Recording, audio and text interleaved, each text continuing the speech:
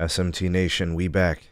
Nation, uh, we got big news at a dish and Boost Infinite service. It's actually starting to get reviewed by the analysts within the industry. All right, so that's big. If Boost Infinite can get the blessings from analysts, they'll be they'll be singing their praises. You know, they'll be printing out, you know, writing articles and sharing their experiences to, to folks that are inquiring about the service, and it would leave a I think a positive spin on the service to the industry.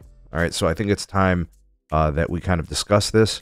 You know, what is the experience on Boost Infinite like, uh, and, and have things gotten better? Are they real players now? Uh, but we got some disclosures here from some analysts. All right, I'll be sure to link the article for you. It'll be in the description uh, from Fierce Wireless. And of course, if you want to support us, there are ways to do that. The links are in the description. Show your appreciation for all the content here on the channel.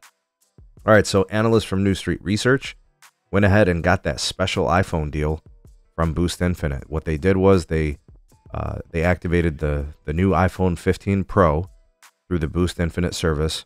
Uh, if you guys don't know, this is that Infinite Access for iPhone plan. Uh, you get a thousand dollars towards an iPhone 15 Pro, unlimited cell service, and it's sixty dollars per month. Right, so that's basically what it is. Uh, get you a brand new iPhone, you know, and uh, and a good deal on service. Sixty bucks, phone and service. Uh, and in terms of like uh, you know the purchase and the activation and everything, uh, the analyst said it went great. Uh, the iPhone was overnighted by the United um, uh, the United Parcel Service. The activation was easy, just a few buttons. Uh, no physical SIMs in the iPhones, so you got to do it all you know through the eSIM activation portal. Uh, but they said that they didn't even need any customer support.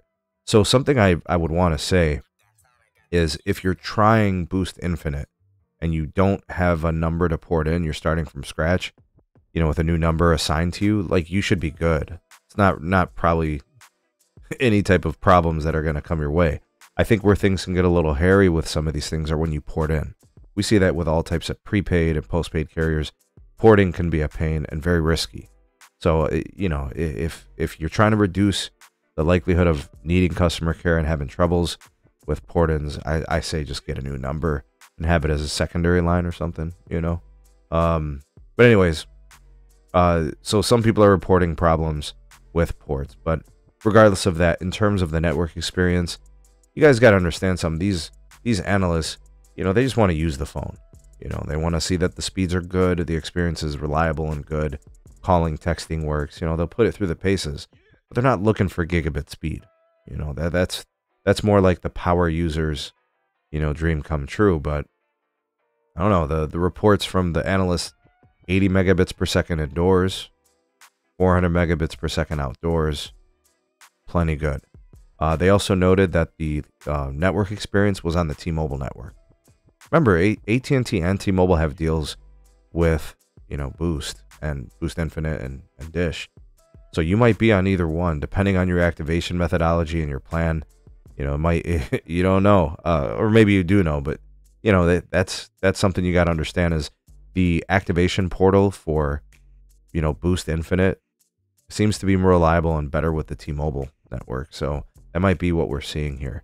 Uh, physical SIMs they probably would have sent them if this phone had it. It would have been on the AT&T network in all likelihood.